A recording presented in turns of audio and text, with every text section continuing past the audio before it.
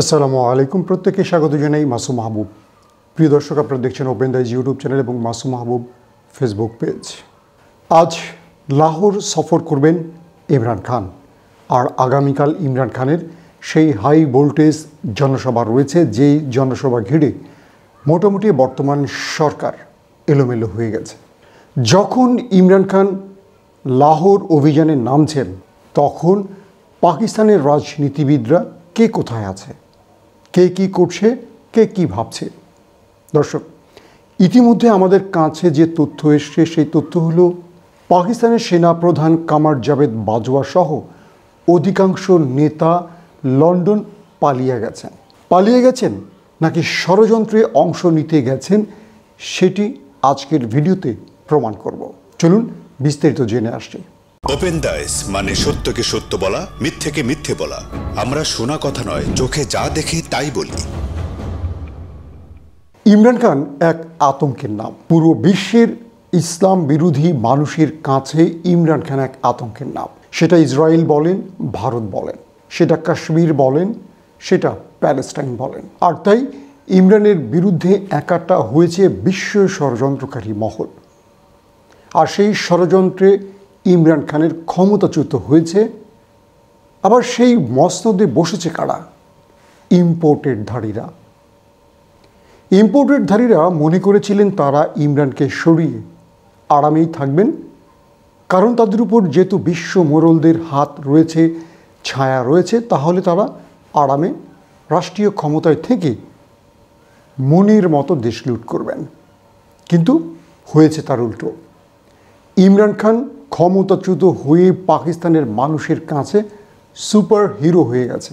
এখন পুরো পাকিস্তান জাতি ইমরান খানের কাছে ফিরে এসছে। আর এই পরিস্থিতিতে পাকিস্তানের ষড়যন্ত্রকারীরা দিশেহারা হয়ে পড়েছে। আমরা কম বেশি জানি যে পাকিস্তানের প্রতিটি ষড়যন্ত্র মঞ্চস্থ হওয়ার আগে মাস্টার মাইন্ড বা মূল পরিকল্পনাকারী থাকেন মুসলিম লীগ নওয়াজের প্রধান নওয়াজ শরীফ। তিনি সাজাপ্রাপ্ত হয়ে পালিয়ে লন্ডনে আশ্রয় নিয়ে সেখানে থাকছেন। ইতিমধ্যে আমরা দেখেছি সেখানে অনেক নেতারা নওয়াজ শরীফের সঙ্গে গোপনে দেখা করতেও গেছেন।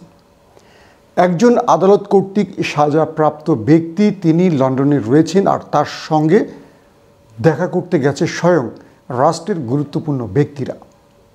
কারা তারা? চলুন জেনে আসছে প্রথমেই যে কামার জাভেদ বাজোয়া ইমরান খানের সময় সেনা প্রধান ছিলেন, যিনি বারবার বলছেন তারা নিউট্রাল, নিরপেক্ষ অবস্থানে রয়েছে। সেই কামার জাবেদ বাজোয়া এখন লন্ডন সফরে করছেন। তিনি পাকিস্তান সেনাবাহিনীর একটি স্পেশাল বিমান নিয়ে লন্ডনে গেছেন। যদিও আইসপিআর বলছেন তিনি একটি পারিবারিক অনুষ্ঠানে যোগ দিতে গেছেন, কিন্তু আসল ঘটনা হলো কামার জাবেদ বাজোয়া গেছেন নওয়াজ শরীফের কাছে। রাষ্ট্রের একজন ঊর্ধ্বতন সেনা প্রধান, একজন দাগি আসামি বা সাজাপ্রাপ্ত আসামির সঙ্গে দেখা করতে গেছেন। এই দেখা করার উদ্দেশ্য কি হতে পারে? সেটা কম বেশি আমরা আজ করতে পারছি। কামার জাবেদ বাজুয়া যখন লন্ডনে রয়েছেন তখন দেশ থেকে পালিয়ে দুবাই যাওয়া আসিফ আলী জারদারিও দুবাই থেকে লন্ডনের ফ্লাইটে উঠে গেছেন। আমরা কম বেশি প্রত্যেকেই জানি যে পাঞ্জাব ইলেকশনে মূল ষড়যন্ত্রকারী হিসেবে মাঠে আসিফ আলী জারদারিকে আমরা দেখেছি। তারপর যখন তিনি হেরে গেলেন, তখনই দেশ ছেড়ে পালিয়ে চলে গেলেন দুবাইতে। এর পরপরই আমরা আড়াইশো সুটকেজ ভর্তি ডলার পেয়েছি।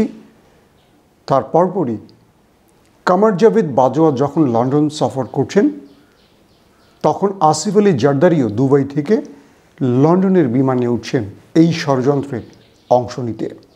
এদিকে সবচেয়ে বেশি হক কথা বলা, ইসলামের কথা বলা, মাথায় পাগড়ি, টুপি, লম্বা পাঞ্জাবির মুখে বড় দাড়ির সেই বিখ্যাত ডিজেল হুজুর মাওলানা ফজলুর রহমান। তিনি গিয়েছেন তুর্কিতে।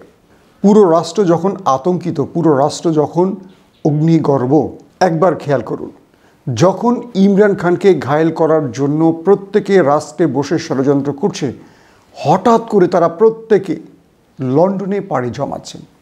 এই মাওলানা ফজলুর রহমান, তিনি তুর্কিতে গিয়েছেন এবং তুর্কি থেকে বিশেষ ফ্লাইটে তিনি লন্ডন সফর করবেন। পাকিস্তান জাতিকে দেখিয়েছেন তিনি তুর্কি গেছেন।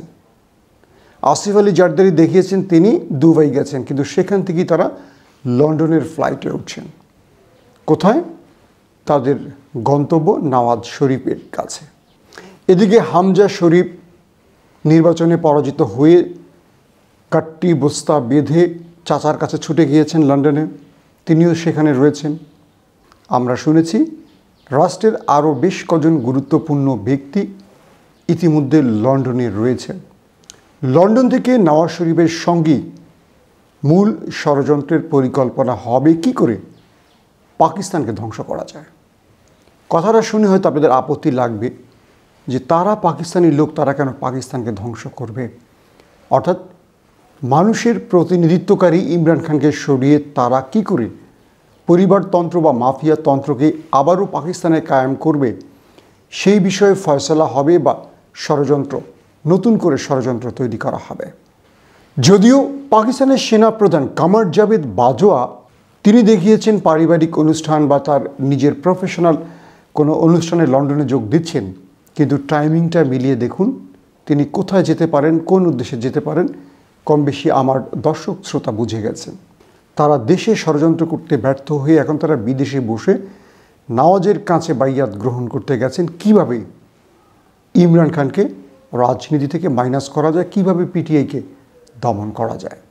দর্শক ইমরান খানের উপর এখন যে মূল টার্গেট সেটি হলো হয় পিটিআইকে রাজনীতি থেকে মাইনাস করে দেয়া নতুবা ইমরান খানকে মাইনাস করে দেয়া। আর তাই নির্বাচন কমিশনকে দিয়ে ফরেন ফান্ডিং মামনুয়া ফান্ডিং তোষাখানা আত্মসাত এরকম কয়েকটি মামলা তৈরি করা হয়েছে যে মামলাগুলোর মাধ্যমে ইমরান খানকে রাজনীতি থেকে মাইনাস করতে চাইছে পুরো পাকিস্তানি রাঘব বোয়ালরা বা ষড়যন্ত্রকারীরা। এই পরিস্থিতিতে ইমরান খান তার দেশের জনগণের উপর আস্থা রেখে এখনও লড়াই চালিয়ে যাচ্ছেন। এদিকে দুষ্ট স্বরাষ্ট্রমন্ত্রী রানা সানাউল্লাহ, তিনি এখন সৌদি আরবে রয়েছেন। সৌদি আরব থেকেও তিনি লন্ডনে যাত্রা করবেন। তারা প্রত্যেকে চাইলে কিন্তু পাকিস্তান থেকে লন্ডনের ফ্লাইটে উঠতে পারতেন। কিন্তু ইমরান খানের ভয়ে, পাকিস্তানের গণমাধ্যমের ভয়ে তারা প্রত্যেকে কেউ তুর্কি, কেউ সৌদি, কেউ দুবাই এরকম ভিন্ন দেশে নেমে সেখান থেকে লন্ডনের ফ্লাইট ধরছেন। আর কামার জাভেদ বাজোয়া সরাসরি লন্ডনে গেছেন এই ষড়যন্ত্র বাস্তবায়ন করার জন্য। এবার আসছি দ্বিতীয় প্রসঙ্গে। আজ বারো তারিখ, ইসলামাবাদ থেকে লাহোরে প্রবেশ করেছেন ইমরান খান। পুরো লাহোর থমকে আছে। পুরো লাহোরে পঁচিশে মের সেই ষড়যন্ত্রকারী এবং নির্যাতনকারী পুলিশ অফিসার সহ সরকারি আমলারা আতঙ্কে রয়েছেন। কারণ, যারা পঁচিশে মের লং মার্চে পিটিআই নেতাকর্মীদের উপর হামলা চালিয়েছিল, আর সেই সব প্রত্যেক পুলিশের বিরুদ্ধে মামলা হয়েছে এবং তাদেরকে পুলিশের চাকরি থেকে সরানো হচ্ছে। এটি অবশ্যই পাকিস্তানের জনগণের জন্য খুশির খবর। ইমরান খান জনগণকে ওয়াদা দিয়েছিলেন যে এইসব ষড়যন্ত্রকারী এবং নির্যাতনকারী যারা মানুষের উপর হামলা করেছে, টিয়ার সেল নিক্ষেপ করেছে, গুলি চালিয়েছে তাদের বিরুদ্ধে পিটিআই ব্যবস্থা নেবে। অবশেষে সেই সিদ্ধান্ত চূড়ান্ত হয়েছে। যারা পঁচিশে মের লং মার্চে পিটিআই নেতাকর্মীদের উপর টিয়ার সেল হামলা, গুলি চালিয়েছে, প্রত্যেকের বিরুদ্ধে ব্যবস্থা শুরু করেছেন ইমরান খান। আজ ইমরান খান লাহোরে ঢুকে তার সিএম চৌধুরী পারভেজ এলাই সাথে বৈঠকও করেছেন। আর আগামীকাল সেই ফাইনাল সমাবেশ, লাহোর সমাবেশ হকি গ্রাউন্ডে শুরু হচ্ছে, যেটিকে নিয়ে সরকার রীতিমতো আতঙ্কে আছে খাওয়া দাওয়া বন্ধ হয়ে গেছে। দর্শক, ইমরান খান লাহোরে প্রবেশের সঙ্গে সঙ্গেই মোটামুটি পুরো পাকিস্তানের মধ্যে আবহাওয়া চেঞ্জ হয়ে গেছে। মাথার উপর যে মেঘ ছিল, সেই মেঘ কেটে একটি চকচকে সূর্য মাথার উপর উঠে এসে আলো ছড়িয়ে পড়েছে পুরো লাহোরে। এটি হলো ইমরান খানের নেতৃত্বের ক্যারিশমা। এবার আসছি তিন নম্বর প্রসঙ্গে। ইমরান খানের সেই চিফ অফ স্টাফ শাহবাজ গিলকে গ্রেফতার করা হয়েছে। আজ তাকে আবারও দুদিনের রিমান্ড শেষে ম্যাজিস্ট্রেট আদালতে তোলা হচ্ছে। যে শাহবাজ গিলের যে ড্রাইভার ছিল, আমরা আপনাদেরকে দেখিয়েছিলাম আমাদের আগের বুলেটিনে, সেই শাহবাজ গিলের ড্রাইভারকে ধরার জন্য তার বাড়িতে অভিযান চালিয়ে তার স্ত্রী এবং ছোট্ট বাচ্চাকে তুলে নিয়ে এসছে পুলিশ। সেই ড্রাইভারের স্ত্রী এবং তার দশ মাসের শিশু সন্তানকে এই ইম্পোর্টেড সরকারের পুলিশ ইসলামাবাদে তুলে এনেছে। ইতিমধ্যে পাকিস্তানের প্রতিটি গণমাধ্যমে সেই ছোট্ট শিশুটির ছবি দেখানো হয়েছে, যাকে মা সহ তুলে নিয়ে আসা হয়েছে। যদি অপরাধী হয় শাহবাজ গিল, তাহলে তার ড্রাইভার কেন দোষী বা তার ড্রাইভারের স্ত্রী বা সন্তানদের কি দোষ? এই প্রশ্নটি এখন পাকিস্তানের সকল সাধারণ মানুষের। শাহবাজ গিলকে দিয়ে সরকার নতুন একটি ষড়যন্ত্র সাজাবার চেষ্টা করছে। আর সেই ষড়যন্ত্র হালে পানি পাচ্ছে না বলে সরকার নতুন কোনো মিশনে আবার পা দিচ্ছে। এখন প্রশ্ন হলো, আগামীকালকে ১৩ তারিখে ইমরান খানের সমাবেশ ঘিরে সরকারের কি কি প্ল্যান রয়েছে? আমরা প্রথমে বলতে পারি, সরকারের যে মূল পরিকল্পনা ছিল ইমরানকে গ্রেফতারের, অবশেষে তারা সেখান থেকে সরে গেছে। কারণ তারা বুঝে গেছে ইমরানকে গ্রেফতার করলে সরকার চব্বিশ ঘণ্টা মসনদে থাকতে পারবে না। এটি পাকিস্তানের এজেন্সির তথ্য সরকারকে পৌঁছে দেওয়া হয়েছে। আর ইমরান খান তো বলে দিয়েছেন করুন আমাকে গ্রেফতার। আমি প্রস্তুত রয়েছি। আবারও সরকার ভয় পেয়ে পালিয়ে গেছে। এখন কেবল পাকিস্তানের ইসলামাবাদে রয়েছে শাহবাজ শরীফ। তার ডানে বামে শেখ কামার জাভেদ বাজওয়া, ফজলুর রহমান, আসিফ আলী জারদারি, রানা সানাউল্লারা এবং শাহবাজ শরীফ হামজা শরীফ, তারা প্রত্যেকে এখন লন্ডনে ষড়যন্ত্রের বীজ বপন করছে আগামীকাল পাকিস্তান জাতির জন্য একটি বিশেষ দিন। দর্শক, আমরা সর্বদা চেষ্টা করি মুসলিম বিশ্বের তথ্যগুলো আপনাদের পৌঁছে দিতে। সর্বদা চেষ্টা করি ইসলামিক লিডারদের ব্যাপারে তথ্য আপনাদের পৌঁছে দিতে। প্রিয় দর্শক, সর্বশেষ পাকিস্তান প্রসঙ্গে যে কথাটি বলতে পারি, এ পর্যন্ত ইমরান খানকে মাইনাস করতে পারেনি। এ পর্যন্ত কোনো একটি মামলায়, কোনো একটি ষড়যন্ত্রে ষড়যন্ত্রকারী সাকসেস হয়নি। উল্টো ইমরান তার নিজের গেইমে বা নিজের পরিকল্পনার শত্রুকে পরাস্ত করেছে। ধরুন, একটি ঘটনাই আপনাদের বলি। শাহবাজ গিলের মাধ্যমে ইমরানকে আটকাবার ষড়যন্ত্র করেছিল সরকার। কি?